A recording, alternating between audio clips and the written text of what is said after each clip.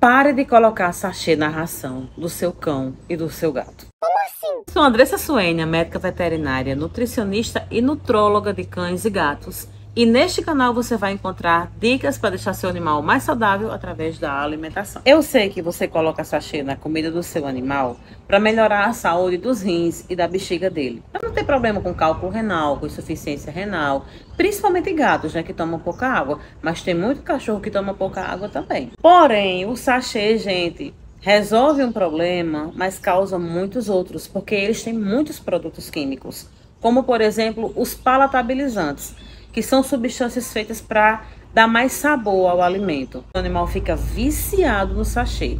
E tem outro probleminha também, porque o sachê ele é muito calórico, além de ter muito sódio. E aí seu animal tem muita chance de ficar obeso se ele consumir com frequência o sachê. Mas é claro, né? Eu não ia trazer só o problema para vocês, eu já vou trazendo a solução também, porque não adianta só dizer que não pode. Essa é a parte que todo mundo se impressiona. Uma das opções que eu trago para vocês de substituição do sachê para misturar na ração é o requeijão. é isso mesmo. É uma fonte de gordura saudável. É um derivado do leite. Não é o leite, gente. É um derivado do leite. Ou seja, contém menos lactose contém boa gordura e é altamente palatável. E o que é que significa ser palatável, Andressa?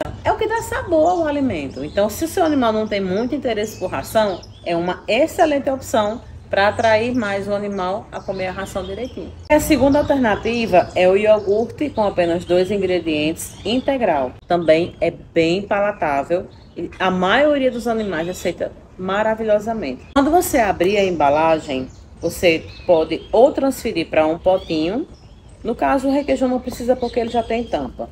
Mas se for o iogurte que você vai abrir, né, o lacre, você transfere para um potinho com tampa e você pode conservar até três dias na geladeira. Porque vamos lá, você não vai usar um copo de iogurte para um animal de pequeno porte, né? É no máximo duas colheres só para misturar na ração.